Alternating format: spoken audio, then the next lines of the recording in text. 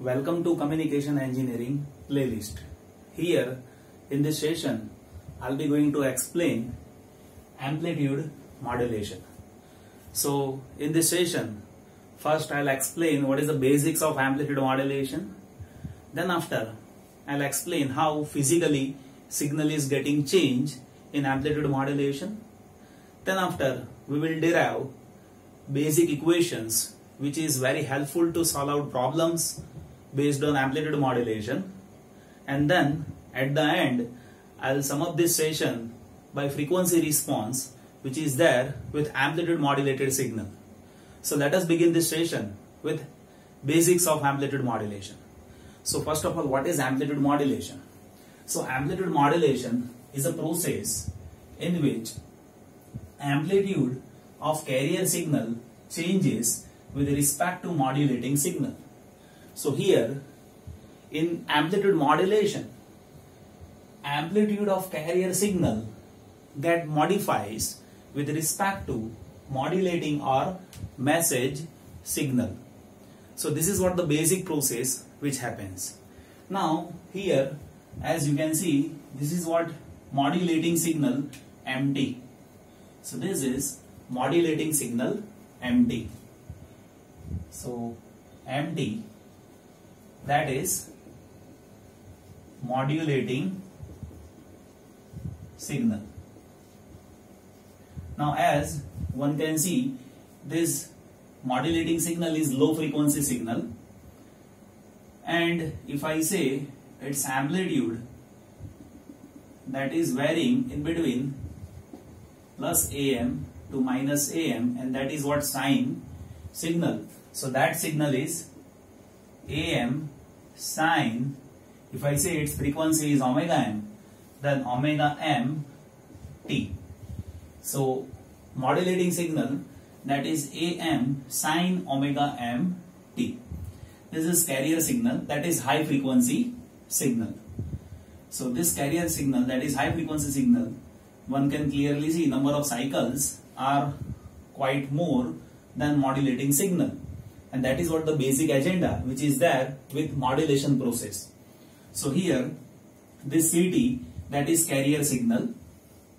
So CT that is carrier signal and if I say its amplitude varies from plus AC to minus AC and if its frequency is omega c then we can say it is AC sine omega c t. Now here this yt is what amplitude modulated signal.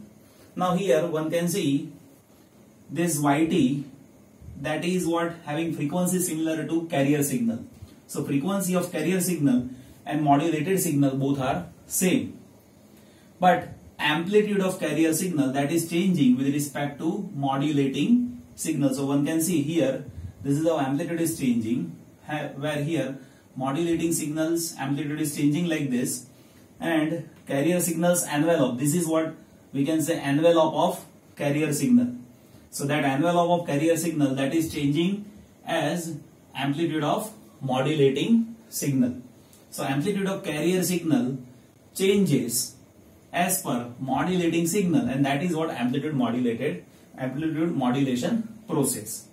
Now here one basic thing that we need to focus about like see this amplitude of carrier signal is AC and that is varying from plus or minus AC like this and modulating signal that is having amplitude which is varying from plus AM to minus AM. So here at this instant amplitude of this modulated signal that is maximum. So what has to be this amplitude? That should be AC plus AM. So this amplitude of this modulated signal that is AC plus AM. While over here one can see amplitude of modulating signal is minimum that is minus AM. So over here envelope of carrier signal that will be having amplitude that is AC minus AM. So this amplitude that will be AC minus AM. So this is what amplitude of amplitude modulated signal over here.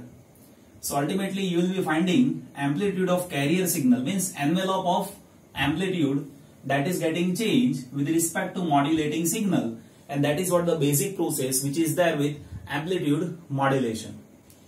So amplitude modulation that is a process in which amplitude of carrier signal changes with respect to message signal. Here message signal is MT and amplitude of carrier signal that is getting changed with respect to message signal that is what the basic process which is happening here. Now I'll be deriving this equation of amplitude modulated signal. So what will be amplitude modulated signal? So that is what I'll be explaining here. So amplitude modulated signal so that will be if I say that is yt so that is let us say it is a dash its frequency is not changing so omega c t so carrier signal's frequency that is not changing what is getting change of carrier signal amplitude so now new amplitude is a dash now how it is getting change? so that is getting change as per AC plus modulating signals amplitude MT. So this is what A dash. So that A dash that is changing as per modulating signal MT. So that A dash is AC plus MT. So this is what amplitude modulated signal. Now as I have told modulating signal that is AM sine omega MT. So just place this in this equation. So it will be now AC plus MT is AM sine omega MT into sine omega C T. Now here if I take AC common from this counts in that case now it will be AC common take it outside now this will be 1 plus AM divided by AC into sine omega mt into sine omega c t.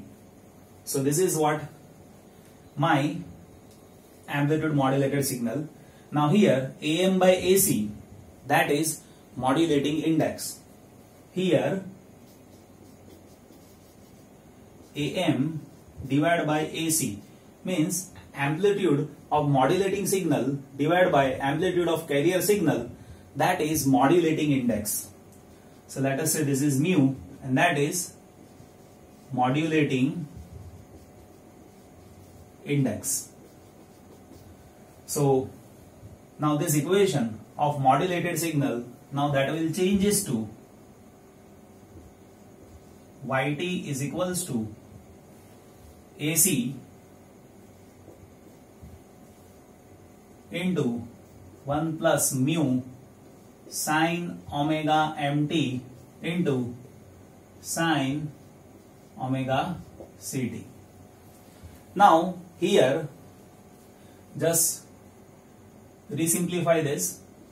So yt that is AC sine omega ct plus a into mu into sine omega mt into sine omega ct.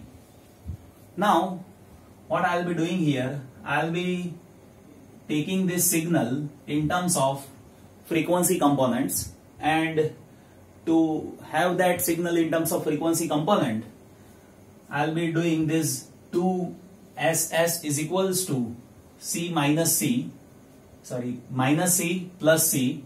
So just multiply 2 and divide 2 so that will result into yt that is ac sine omega ct plus a mu by 2 into cos omega c minus omega m into t minus a into mu by 2 into cos of omega c plus omega m into t.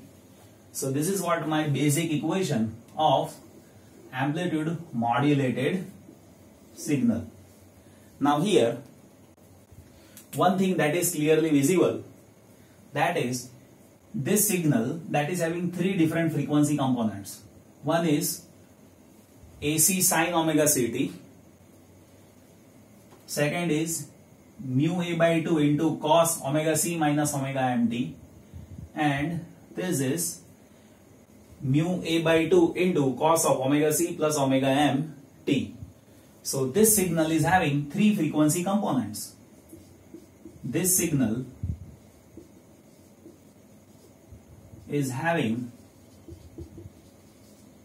three frequency component and that is omega c, omega c plus omega m and omega c minus omega m. So these three frequency components are there with this signal.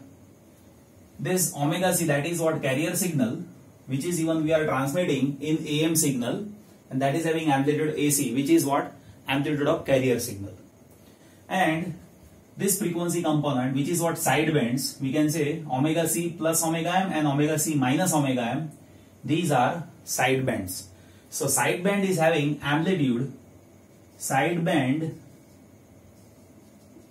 amplitude that is mu a this is what exactly AC not only A it is AC so mu AC by 2 mu is modulating index that is modulated uh, modulating signals amplitude divided by carrier signals amplitude. So that will be AM by AC into AC by 2 so that is exactly AM by 2. So this is what amplitude of side band. Now as if we see this basic signal which is what modulated signal then if you plot its frequency response then that frequency response that I am plotting it over here so that will be looks like here there is amplitude and here there is frequency. So there are three frequency component. This is omega c, this is omega c minus omega m and here frequency component is omega c plus omega m. Omega c frequency component that is having amplitude AC. So this is what amplitude which is there with carrier signal that is AC in amplitude modulated signal. And side bands that is having amplitude mu AC by 2 mu AC by 2 so this is what amplitude which is there with side band that is omega c minus omega m and omega c plus omega m so that is what the amplitude which is there with side band. Now here few things that we need to discuss as a basics of amplitude modulated system. Now in amplitude modulated sig signal if you see there are three things which we are sending carrier signal and side bands. Now carrier signal is not having information. You can see information means message signal. So message signal that is having frequency omega mt carrier signal is AC sine omega ct. So the signal which we send by this component is not an information. So this is not information. So when we send signal by amplitude modulated signal in that case we send carrier signal so that is what waste of power and major power that is there with this. You can see amplitude is more with omega c. So amplitude modulated signal is having higher power that is there with carrier signal and that is unwanted signal. So this is where some drawbacks are there with AM. So this is what the drawback which is there with AM which is sending AC sine omega ct that is carrier signal. Now there are few more drawbacks like if you see the bandwidth of AM signal then this bandwidth is this much. Now what is that bandwidth? That bandwidth is bandwidth that is omega c minus omega m to omega c plus omega m. So it means it is 2 omega m. So this is what the bandwidth which is there with AM. So this bandwidth is higher bandwidth than the bandwidth of modulating signal. So when we talk about bandwidth of AM signal then that bandwidth is double than the bandwidth which is there with signal. So it acquires higher bandwidth as well as this AM signal that is having higher amount of power which we need to transmit for wireless communication. So these are the basic problems which is there with AM and to solve out those issues there are few more techniques which is there with amplitude modulation. Those are double sideband suppressed carrier as well as single sideband suppressed carrier. So that I'll explain in future videos. So in next sessions you will be finding I'll be explaining you double DSBSC double sideband suppressed carrier and SSBSC single sideband suppressed carrier. So that is what I'll be explaining in next few sessions. So stay tuned with this. So one should have basic idea about what is AM amplitude modulation and that is what sending carrier signal plus sideband signals. So this is what sideband signal omega c plus omega m and omega c minus omega m and its amplitude is mu AC by 2. Now here few more things that we need to focus about. One is modulating index. Now what is modulating index? Amplitude of modulating signal divided by amplitude of carrier signal. So here modulating index that should be lower than 1. Modulating index that should be lower than 1. Otherwise there will be phase distortion that will be there with amplitude modulated signal. So that we will be discussing in few of next sessions where you will come to know like why there should be modulating index which should be lower than unity. So here in this session this is what the basics regarding amplitude modulated signal and amplitude modulation process. Thank you so much for watching this video.